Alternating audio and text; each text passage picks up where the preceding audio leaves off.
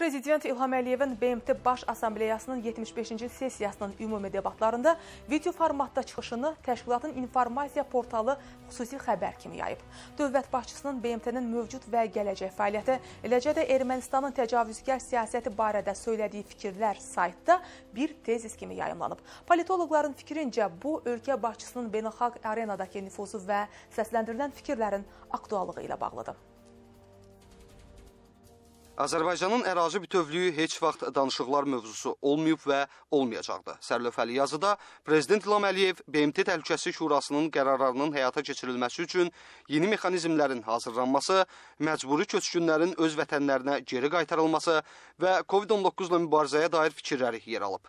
Mətnin əsas hissəsi isə Ermənistanın təcavüzkar siyasətinə, işğal olunmuş ərazilərdə terror təşkilatlarının yerləşdirilməsi və ermənilərin mülki əhalini hədəf aldığına həsr olunub. Azərbaycan Azərbaycan prezidenti cənab İlham Əliyev o qədər dürüst və yerində çıxış etdi ki, onun çıxışları demək olar ki, həm Birləşmiş Millətlər Təşkilatının saytında, digər saytlarda manşetə çıxarıldı. Yəni e, çox mühüm məsələlər idi.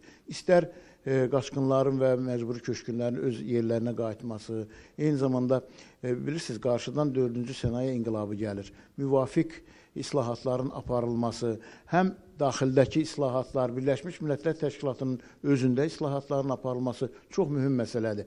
Və məhz buna görə də bu gün o e, manşetə çıxarılan, BMT-nin saytında verilən həm e, dünənki çıxış, həm ondan öncəki çıxışlar çox mühüm əhəmiyyət kəsb edən çıxışlardır. Politoloqların fikrincə Prezident İlham Əliyevin BMT-dəki son iki çıxışı həm də dünyaya verilən vacib mesajlarla yadda qaldı. BMT islahatlar və yeni yanaşmalara çağırılmaqla yanaşı mövcud münaqişələrin həllində effektivliyin artırılması tövsiyə olundu.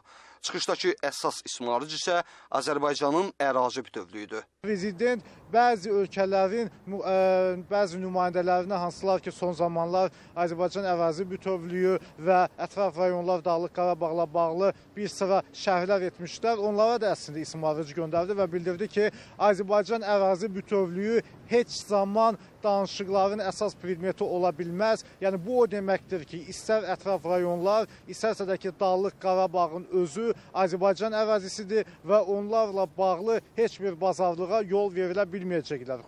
Azərbaycan prezidentinin ədalətli, haqlı və dürüst çıxışı təbii ki, dünyanın ən ali qurumlarının da diqqətindədir. Çünki beynəlxalq arenada xüsusi ağırlığı olan ölkə başçısının qaldırdığı məsələlər öz aktuallığı və ciddiliyini bu gün də qoruyur.